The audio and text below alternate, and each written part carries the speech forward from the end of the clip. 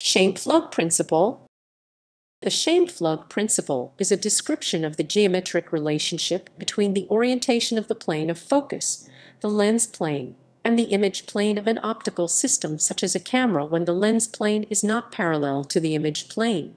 It is applicable to the use of some camera movements on a view camera. It is also the principle used in corneal pachymetry, the mapping of corneal topography, done prior to refractive eye surgery such as LASIK, and used for early detection of keratoconus. The principle is named after Austrian Army Captain Theodor Scheimpflug, who used it in devising a systematic method and apparatus for correcting perspective distortion in aerial photographs, although Captain Scheimpflug himself credits Jules Carpentier with the rule, thus making it an example of Stigler's law of eponymy. Description Normally, the lens and image film or sensor planes of a camera are parallel, and the plane of focus PO-F is parallel to the lens and image planes.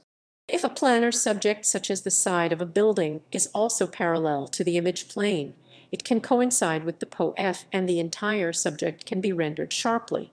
If the subject plane is not parallel to the image plane, it will be in focus only along a line where it intersects the PO-F as illustrated in figure 1.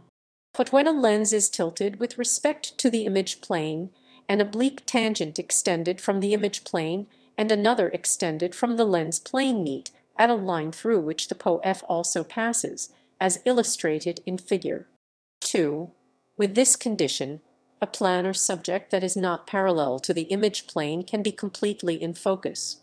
While many photographers were slash are unaware of the exact geometric relationship between the PO-F lens plane and film plane, swinging and tilting the lens to swing and tilt the PO-F was practiced since the mid-1800s. But when Carpentier and Scheimpflug wanted to produce equipment to automate the process they needed to find a geometric relationship. Scheimpflug 1904 referenced this concept in his British patent, Carpentier 1901 also described the concept in an earlier British patent for a perspective correcting photographic enlarger.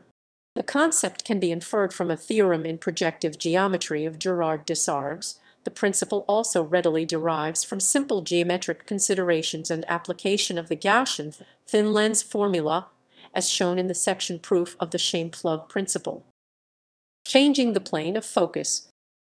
Camera movements Tilt and swing are movements available on most view cameras, often on both the front and rear standards, and on some small and medium format cameras using special lenses that partially emulate view camera movements.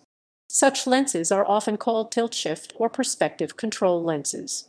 For some camera models there are adapters that enable movements with some of the manufacturer's regular lenses, and a crude approximation may be achieved with such attachments as the Lensbaby or by freelensing, depth of field, selective focus, derivation of the formulas, proof of the Scheimpflug principle, angle of the PO-F with the image plane, proof of the hinge rule.